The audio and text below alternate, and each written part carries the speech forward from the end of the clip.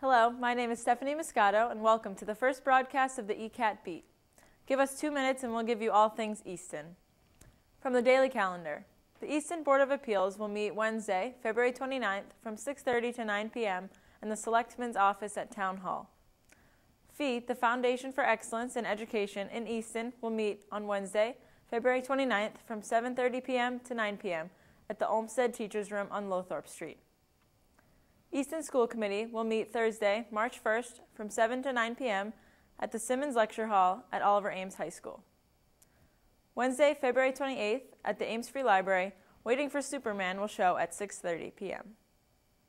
The Easton Council on Aging Book Club will meet on Wednesday, the 28th at 1 o'clock at Frothingham Hall on Barrow Street.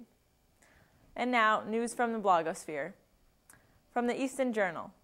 The new Crossroads Veterans Services District members met last Tuesday. The district was formed last year after Norton and Easton lost their shared veterans agent. The state encouraged towns to regionalize services, so Mansfield, Foxborough, Easton, and Norton will now share agents.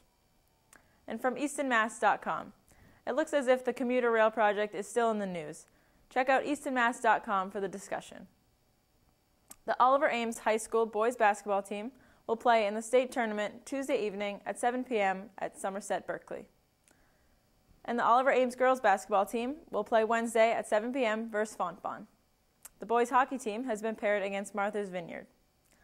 And here's something to look for early next month.